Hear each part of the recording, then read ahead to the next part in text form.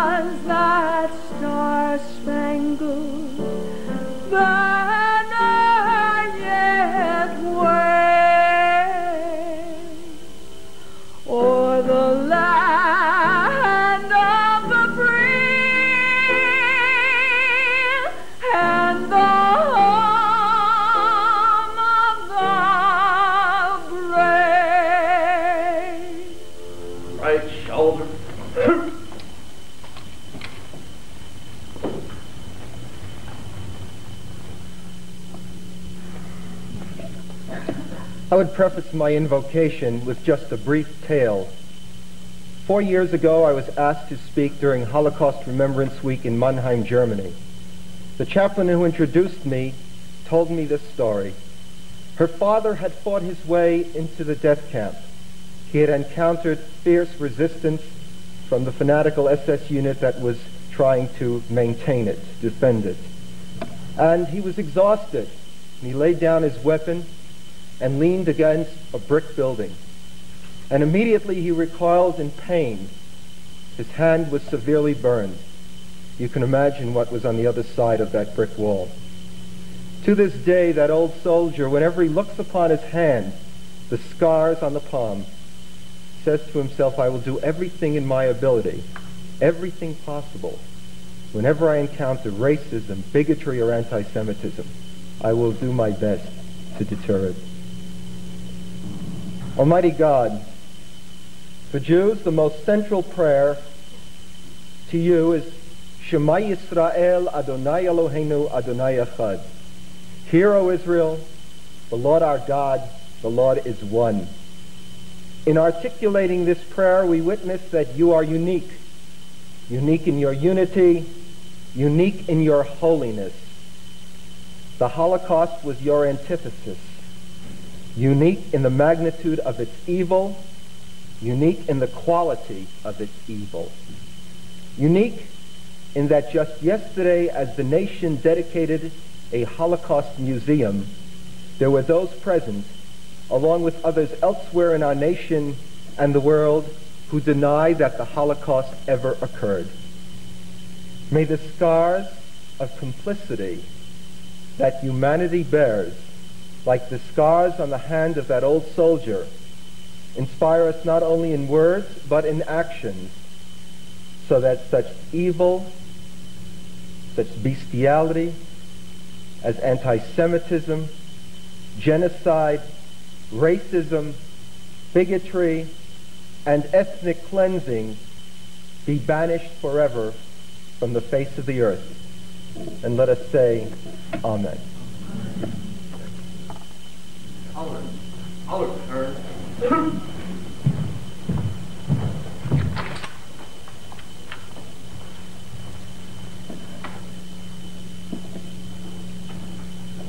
Please be seated.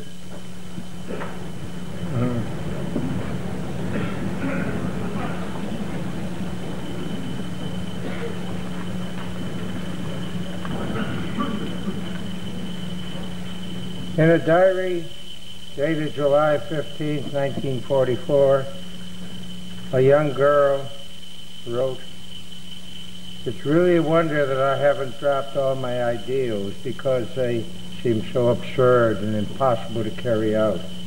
Yet I keep them. I simply can't build up my hopes on a foundation consisting of misery, confusion, and death. I can see the world is gradually being turned into a wilderness. I hear the ever approaching thunder which will destroy us too. I can feel the sufferings of millions. And yet, if I look into the heavens, I think it will all come out right. In the meantime, I must uphold my ideals, for perhaps the time will come when I shall be able to carry them out. The little girl who wrote these words was Anne Frank. She was murdered later that year in a concentration camp. It is fitting today, 50 years from that time, when the tide began to turn against the Axis, that we remember the victims of the Holocaust. But it is also fitting that we act to carry out the ideals Anne Frank expressed so well. The Secretary of Defense has encouraged our military commands to observe the days of remembrance as part of our country's national effort. For 10 years, ceremonies to mark the occasion have been held throughout the nation on Navy ships, at military bases and stations throughout the world. The Holocaust will forever save as or serve as a reminder of the values that we cherish, but we can lose so easily and which we in the Department of Defense are pledged to uphold. Human dignity should not be decided on the battlefield in the hearts of men and women. Today we're honored to have the Deputy Secretary of Defense, the Honorable William J. Perry, to join us. Dr. Perry, of course, is no stranger to the building. He served in the Carter administration as Director of Defense Research and Engineering since that time, his accomplishments and professional involvements are numerous. Before returning to the defense, he was chairman of Technology Strategies and Alliances, a professor at Stanford School of Engineering, co-director of the Stanford Center for International Security and Arms Control. It's a pleasure and honor to have you with us.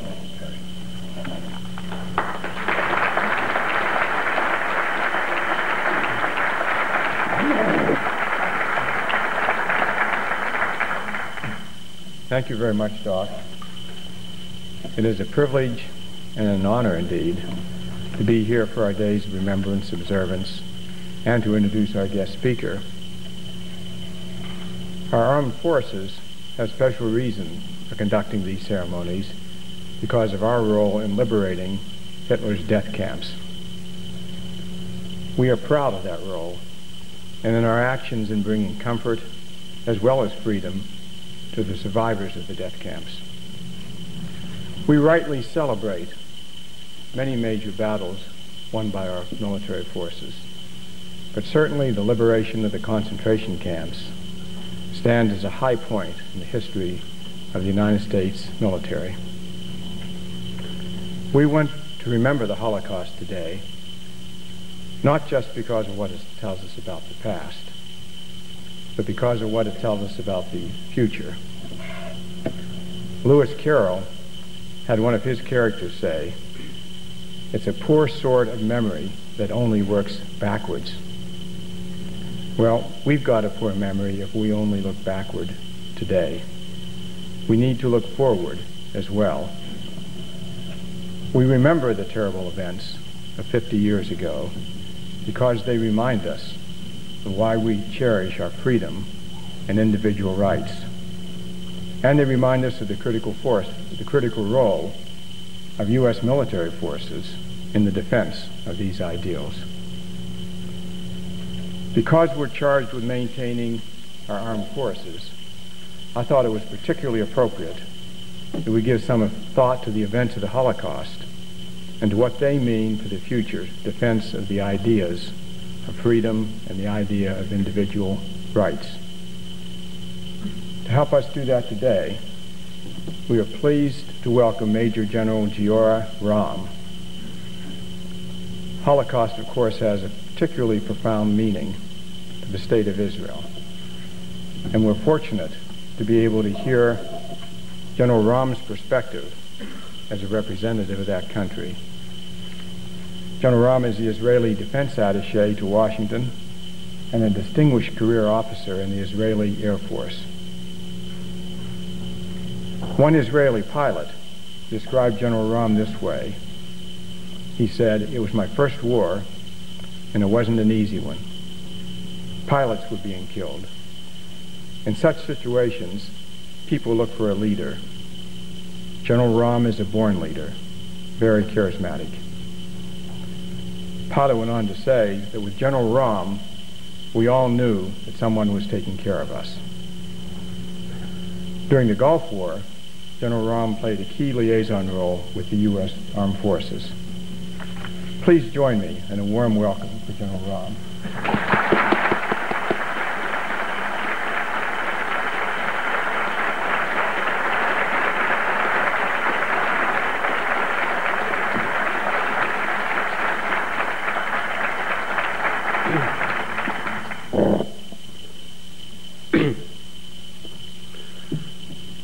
1961, and I'm a student at the 11th grade of my high school.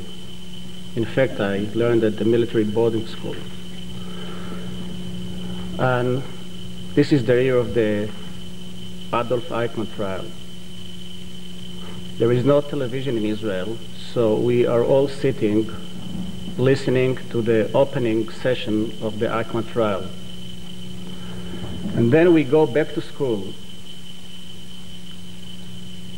And during the afternoons, from time to time, we are listening to the testimonies from the Holocaust. Either the afternoon testimonies or the morning ones.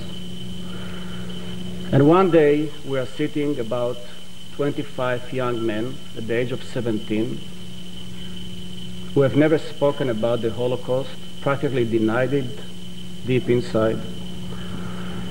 And there is the testimony of a woman telling the story about standing behind the truck on which uh, her two teenager sons are being taken. She's screaming, and the German guard stops the truck and turns to her and tell her, well, lady, you can pick one of them. I don't know how many of you read William Styron's Sophie's Choice. Not like Sophie in that book, the woman didn't pick none of the two uh, sons. And when it was over, one of us, who was very silent, stood up and all of a sudden said, I, I cannot take it anymore. then he went out. Deputy Secretary Perry, General McPeak, General Mundy, distinguished member of the Pentagon. It's a great honor for me. And I was deeply moved by the opportunity that I had to speak on this very special event I'm serving, I've been serving in this country for 10 months, and you can imagine I've spoken quite a few times. But never did I have such an opportunity to speak in, in something which is different. Usually I represent my government, I represent my country. This time I feel that I represent not only my country and my government, I represent my generation. I represent my parents' generation. I think that I represent my wife, who is here, who spent their first six months as a baby in some remote forest in Czechoslovakia, Czech Czechoslovakia taken care by nuns. I represent the generation of my grandparents who believe that Warsaw and Radomsk in Poland is a safe haven. I think that I present many other generations and maybe, we'll see later, maybe I represent the generation of my children and of my grandchildren who have not yet been born. I had the feeling when I was approached to speak about the Holocaust and the Israeli spirit that expectation was that Israeli spirit, and forgive me for using this expression, supposed to be the bright side of the Holocaust. An Israeli general will come and speak about, well, life is not that bad anymore. I, I think that I'm going to be to make it a little bit more complicated. I'm going to speak about the Israeli spirit. And let me start by trying to summarize what is, when I say Israeli spirit, of course, I speak about what makes Israel unique compared to other nations. And I think that if I want to summarize it, Israeli spirit is consisted of deep, constant anxiety, consists of feeling of isolation, feeling loneliness at moments of truth, consists of very powerful resolve, unbreakable determination, and I guess pursue for excellence as a way of life. I will need to put forth a number of historical comments in order to, to connect modern Israel as a whole and Israel of 93 with the, with the tragic events that occurred in Europe during the 30s and the 40s. Where shall I begin? Maybe I'll begin by saying that the secular side of the Jewish community in Europe, called Zionism, was born in the middle of the 19th century as part of the nationalism wave that was born in that continent. In fact, much before the Holocaust, there were very famous five waves of immigration to Israel. My father came to Israel at 1925 as a teenager, as did my mother five years later, while Hitler was still a non personality trying to write his Mein Kampf, maybe paint some paintings in Austria. So there was no threat as much as there was a concept of trying to build the new kind of Judaism in Palestine. But there was no feeling of any pressure over time. The ascent of the Nazis to power marked the beginning of a process that, that would eventually later destroy the large demographic base upon which the Zionist movement and the Zionist dream rested process that's known to us today as the Holocaust. What was the Holocaust? In such a short kind of speech. It was a systematic annihilation of an entire people just because their specific religion. This extermination was a policy dictated from above, fully supported or almost completely fully supported by the majority of the people of Germany and at later stages by the majority of other European nations like Poland, Hungary, the Ukraine, Romania, as well as other nations that fell under Nazi uh, occupation. In fact, when the Nazis came to power at the beginning, it was not annihilation what they have in mind. It was more an ethnic cleansing. They wanted to clean Europe from Jews, whom they perceived as a destroying element. For a very short while, there was the Madagascar plan, namely to move all the 9 million Jews of Europe from Europe to the island of Madagascar, a plan which very rapidly proved to be unrealistic. Then Jews begin to be encouraged, if you want to call it encouragement, to leave Germany, of course, to leave everything, all their property, just to leave the country.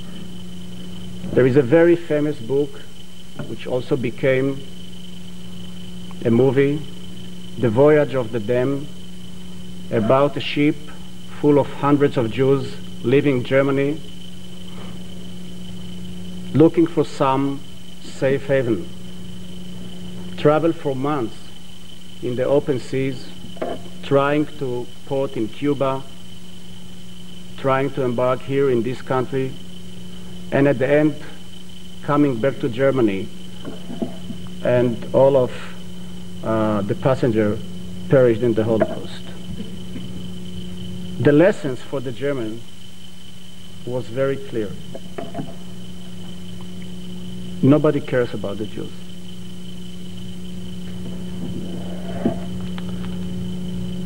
But as time went by, it was clear that ethnic cleansing is not a viable solution if you really want to clean Europe.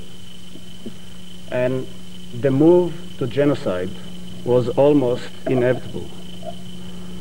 And in January 1942, in the Wannsee conference, the decision was very clearly made, namely, we, the Germans, should systematically clean Europe by killing them from the Jews. And it became, if you want to call it, a logistical problem. How to run the deception. Jews, like many others, refused to believe that the sun that they see every morning bring them as close as possible for the to the last day. There was very complicated transportation problems, as you know. They have to solve it. They have to find solution with German ingenuity for massive extermination. So the Zyklon B gas came into our life, and there was the problem of disposing of the corpses. And they put very efficient German people to do it, beginning a process through which six million people, 1.5 million out of them were children, seized their life. The genocide of the Jews was, was one of the most important goals of the Nazis. And in fact, it reflected their worldviews. Toward the end of the war, when Germany became to come under pressure, and there was shortage of resources, they cut resources every place, but in the ongoing machine of extermination. And when, the, when there was a question about who will be prior prioritized, trains to the, to the camps or trains to the Eastern Front, trains to concentration camp got priority. Money was not an object, transportation was not an object, the goal should have been achieved. In the outer circle,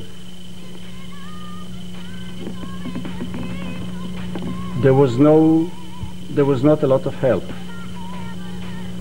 The Allies, which began to learn more and more about what was going in Europe, decided not to allocate any military resources to try to stop it or to slow it down. no bombing of the camps, no attacking of the, of the trains, no sabotaging the railways.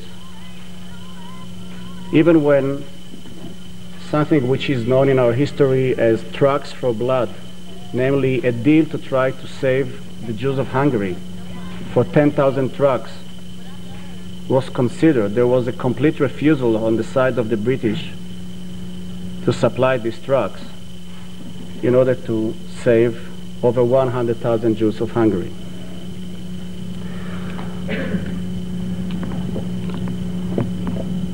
I, I try to think what a Jew could have felt over these three horrible years. Anxiety seems to me to be too weak a word. Maybe fear, maybe desperation, maybe not knowing what will happen next. There were some desperate attempts at defense, most famous of which was the Warsaw Ghetto uprising 50 years ago.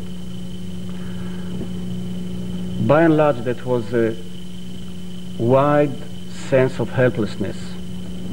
There was nobody to turn to.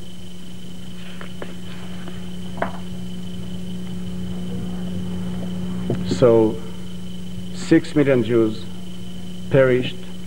1.5 million Jews found themselves next to the end of the war, behind the Iron Curtain, and the rest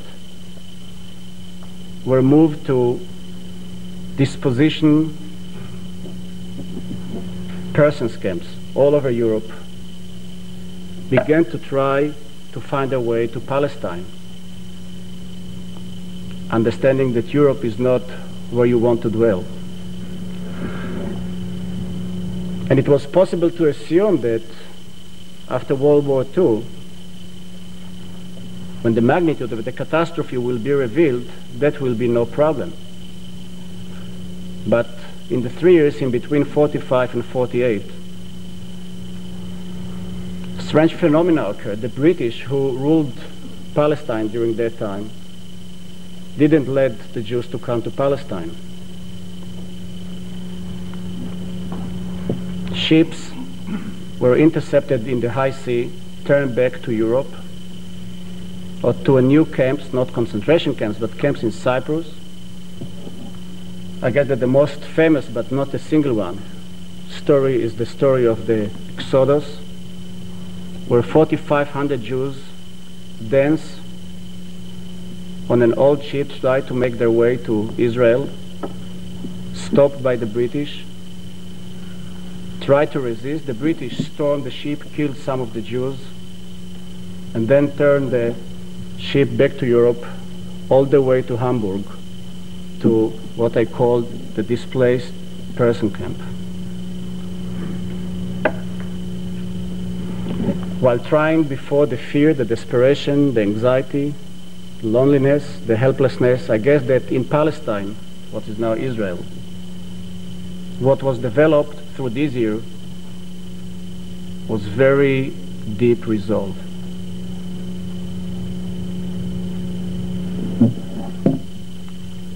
We have to have our own country. We have to take care of ourselves.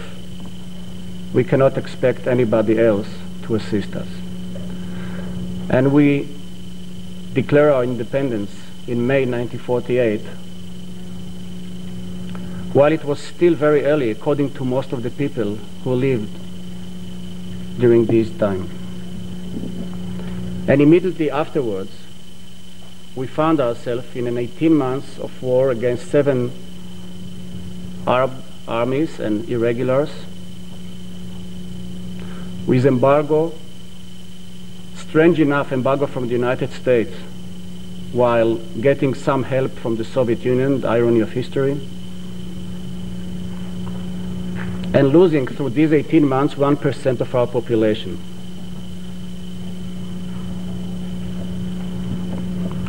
As to lose about 1.5 million Americans during World War II.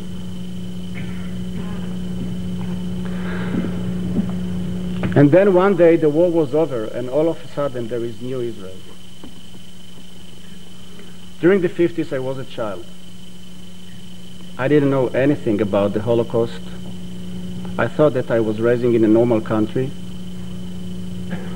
I learned lately that I was living through a very intensive melting pot in which we have multiplied our population, trying to expand our demographic basis from, but with Jews from Iraq, from North, from North Africa, from elsewhere, just to build the Jewish population so Israel will be able to build itself.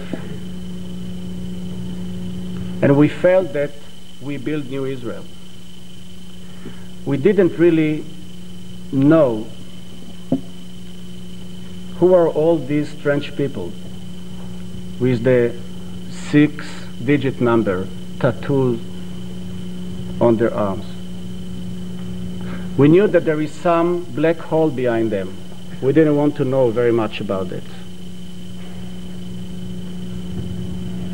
And we thought, as many times in life you believe, that history is history and let's look forward. I guess that two events returned all of us to square one.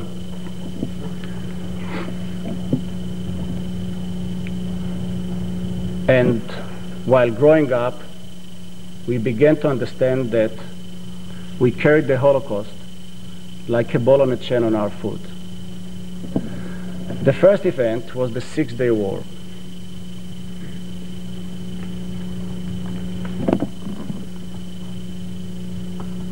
It took three weeks before Nasser began his move, not fully controllable, and until we attack his air force on Monday morning, 7:45. Through these three weeks, the different different layers of defense of Israel fold one after the other. The United Nations, just by a word of Nasser, evacuated Sinai without even consulting with the government of Israel. We sent our foreign minister, Abba Eban, to our greatest ally of that time, France. And he was almost literally kicked out of de Gaulle office, told not to dare to do anything but sitting back.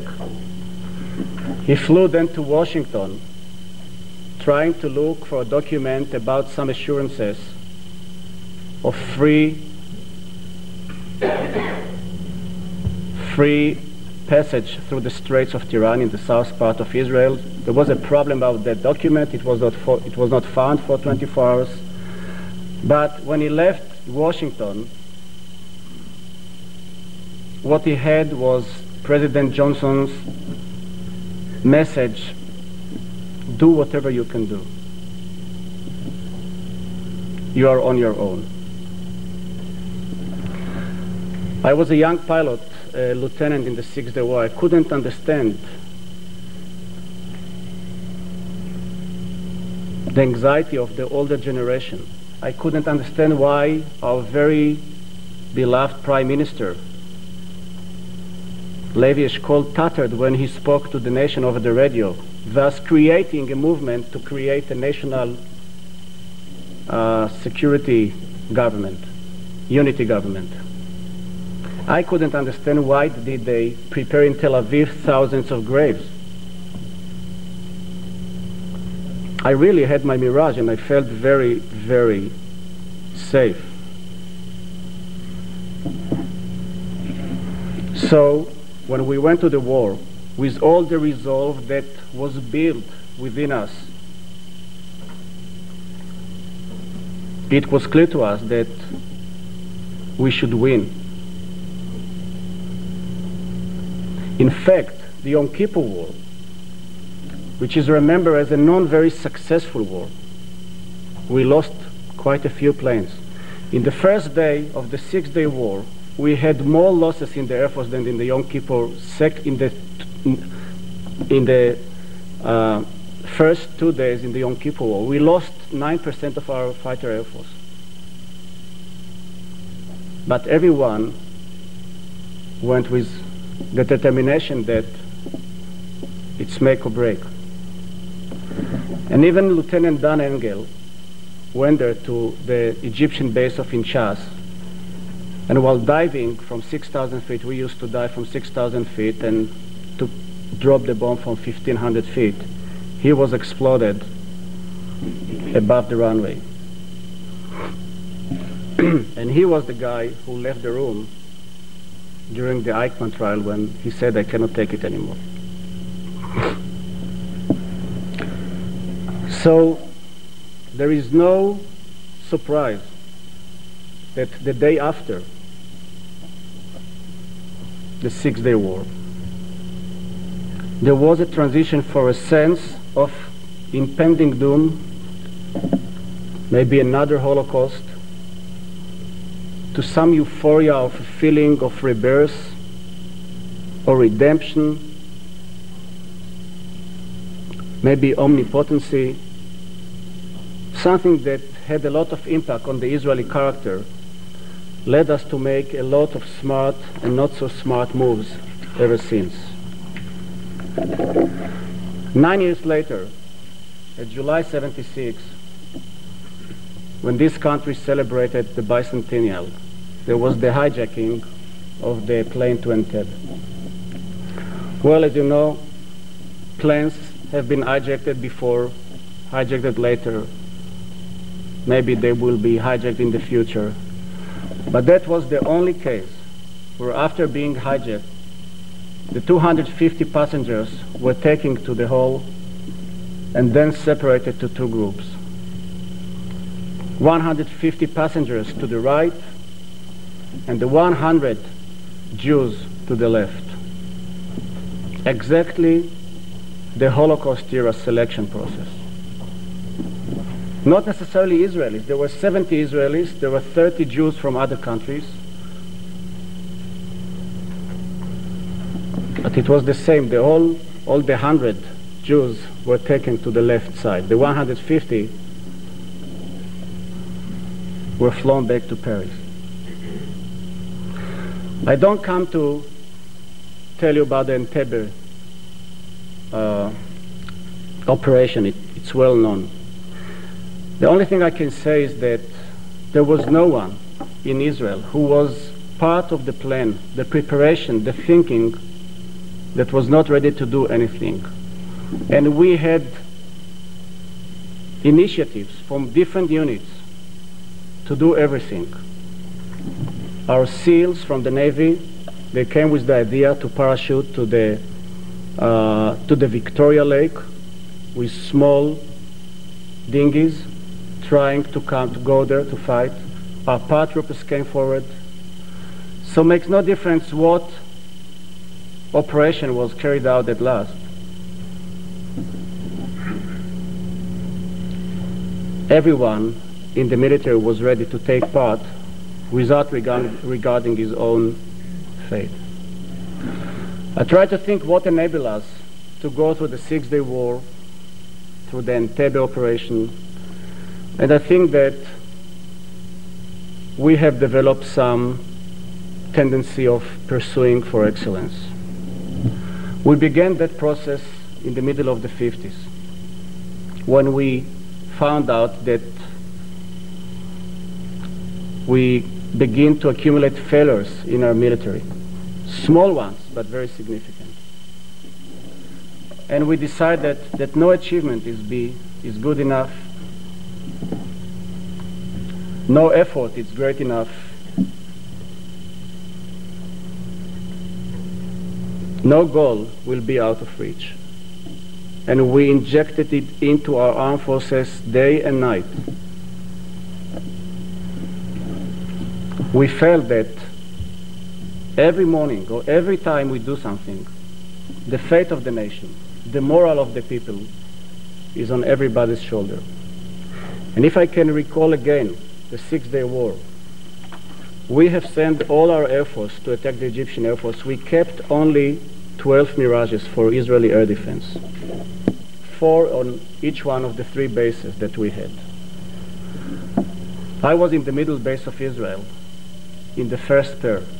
So in the middle, we were told that we are for the defense of Tel Aviv. We are four Mirages. There was no second tier or third tier. Or, these were the, the four of us. Eitan, who was my leader, I was number two, Abram, who was number three, and Shmuel was number four. These are the four names that protected Tel Aviv in the morning of July 5th. So when you pull the harness, you feel that you put all your nation on your back.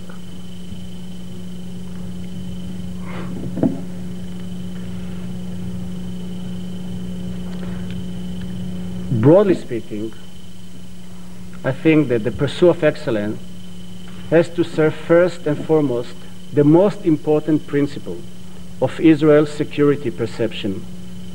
We must be independent in the face of threats that have an existential character. We were very fortunate over the last 25 years to be the United States allies practically. We have received more of our, most of our weapon system from the United States. We have received a lot of technology. We have received the aerial security supply during the Yom Kippur War, and much more than that. And still, we want to be independent when it comes to existential threats.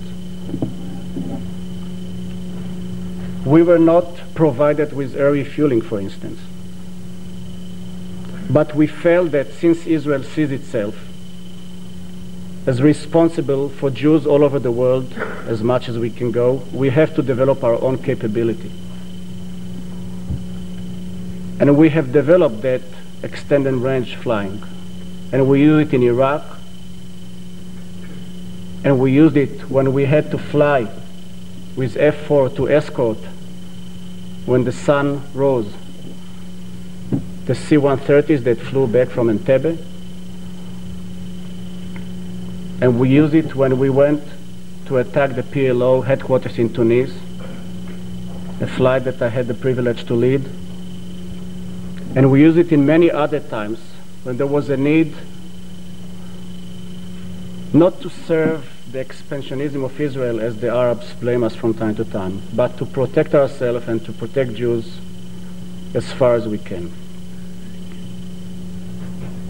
We are grappling now, for instance, how to protect ourselves against ballistic missiles in the next decade and afterwards.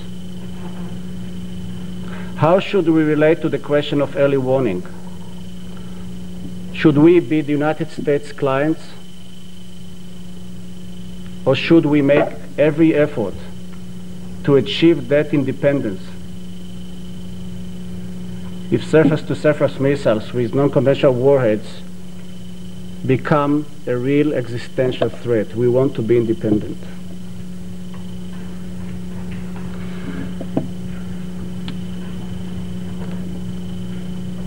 I want to say a word about the relationship between ourselves and our neighbors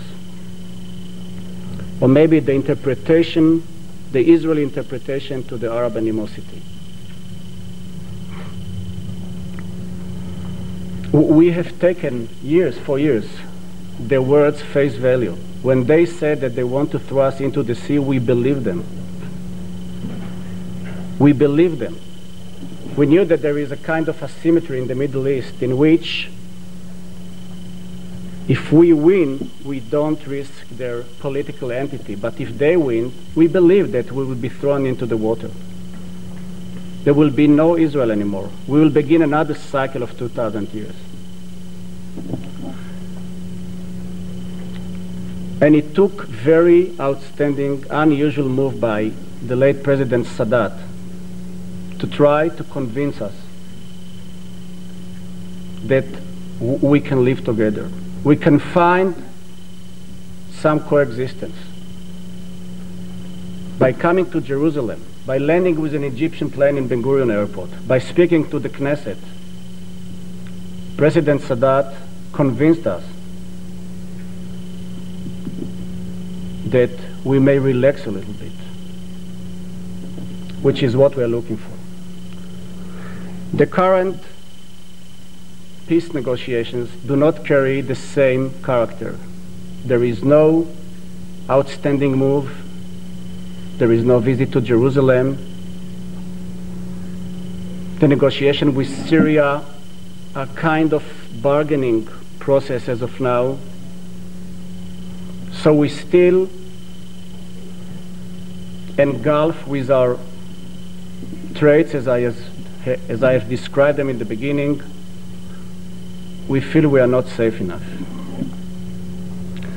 So, what is the Israeli spirit that emerged from the Holocaust? Externally, it's the pursuit for excellence, the development of independent capabilities, maybe original thinking, some kind of ingenuity, there is some chutzpah if you want, and very deep determination. Actually, it's a cover. It's a cover for living with a feeling with constant isolation, deep seated anxiety, sometimes exaggerated maybe.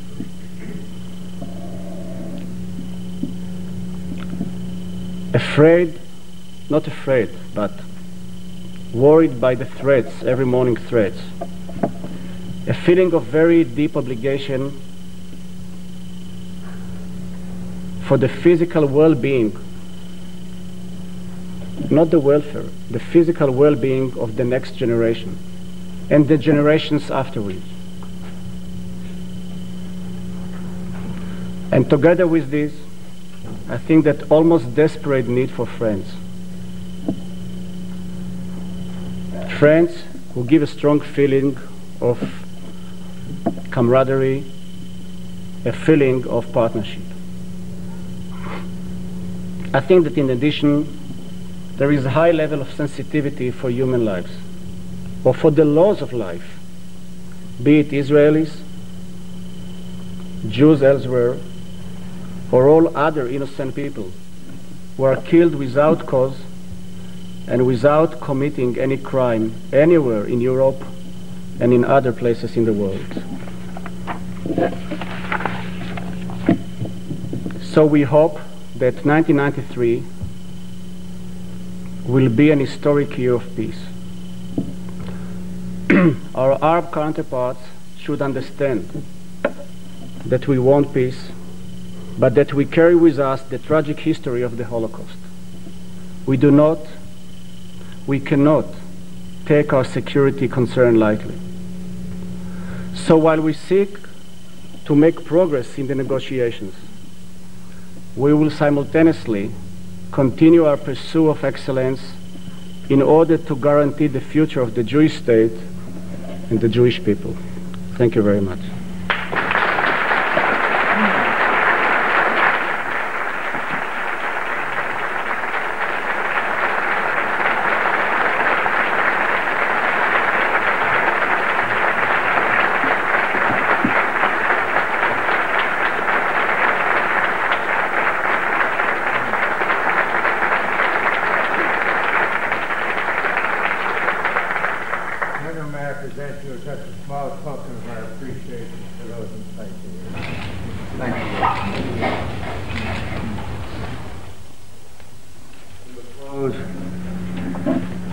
our observance uh, this afternoon by asking Chaplain Dressen to deliver the benediction.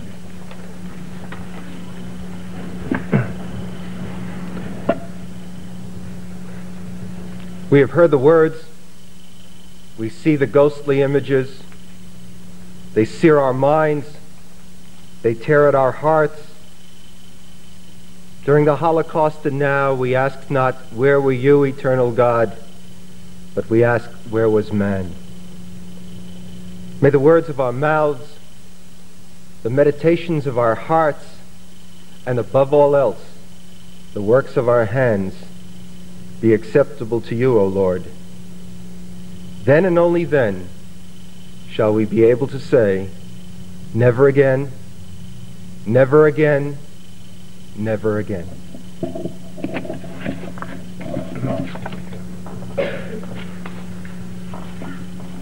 This concludes our ceremony. Thank you all for coming this afternoon.